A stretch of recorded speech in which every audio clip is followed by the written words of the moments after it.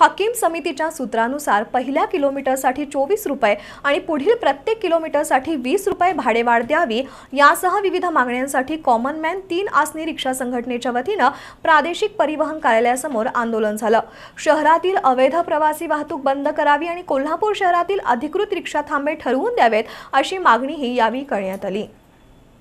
रिक्षा भाडेवाढसह विविध मागण्यांसाठी कॉमनमॅन तिनासनी रिक्षा संघटनेच्या वतीनं प्रादेशिक परिवहन कार्यालयासमोर आंदोलन झालं.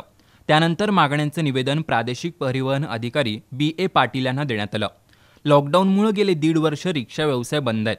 वाढलेले इंधनाचे दर महागाई यामुळे रिक्षा चालकांचं आर्थिक गणित कोलमडलंय. पेट्रोलचे वाढते दर लक्षात घेऊन हकीम समितीच्या सूत्रानुसार रिक्षा भाडेवाढ द्यावी अशी मागणी केली होती. पण भाडेवाढ देताना संपूर्ण राज्यासाठी दोन हजार वीसचा ग्राहक निर्देशांक विचारात घेऊन तुटपुंजी भाडेवाढ दिली.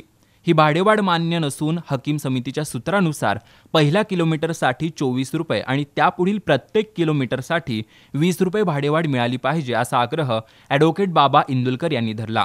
अनेक वर्ष मागणी करूनही अधिकृत रिक्षा थांबे ठरवलेले नाहीत. त्याउलट रिक्षा चालकांना पोलीस यंत्रणेकडून त्रास दिला जातोय. रिक्षा थांबे ठरवून दिले नसल्यामुळं वादावादीचे प्रसंग उद्भवत आहेत तसंच अवैध प्रवासी वाहतूक रोखावी याकडेही प्रादेशिक परिवहन अधिकाऱ्यांचं लक्ष वेधण्यात आलं. यावेळी अविनाश दिंडे नरेंद्र पाटील संजय भोळे श्रीकांत पाटील संभाजी रणदिवे जाफर मुजावर शकील महात उपस्थित होते.